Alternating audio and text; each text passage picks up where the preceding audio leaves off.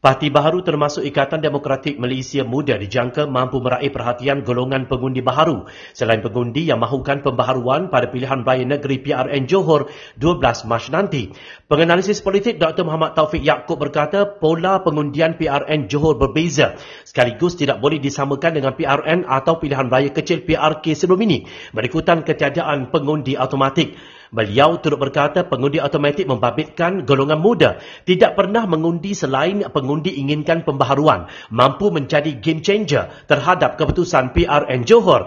Apabila pengundi automatik mengundi pada PRN Johor sudah pasti mereka tidak akan 100% menyokong gabungan parti politik konservatif sedia ada. Mereka akan lebih cenderung dengan parti baharu terutama muda. Muda dilihat boleh menawarkan wadah terbaharu kepada pengundi muda baharu dengan kaedah mereka yang lebih segar dan dekat di hati pengundi. Gabungan politik besar tidak boleh lagi mendabik dada menyatakan mereka mampu menang besar atas kapasiti mereka lebih berpengalaman dan mempunyai jentera serta akar umbi yang ramai. Apatah lagi setiap parti sedia ada dilihat menghadapi masalah dalaman mereka sendiri yang pastinya sedikit sebanyak menjejaskan kelancaran kempen dan jentera mereka manakala parti baharu dilihat tidak mempunyai masalah sedemikian.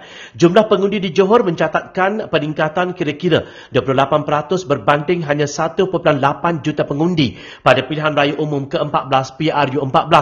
Ia berikutan penambahan 749,731 pengundi berusia 18 tahun ke atas susulan pendaftaran automatik undi 18. Dalam pada itu, Muhammad Taufik mengulangi ramalannya bahawa keputusan PRN Johor dijangka mengulangi pencapaian parti politik bertanding pada PRU 14 di Johor. Katanya pada PRU 14, tiada mana-mana parti mampu meraih kemenangan selesa 2 per 3 menyebabkan kerajaan campuran terpaksa diwujudkan.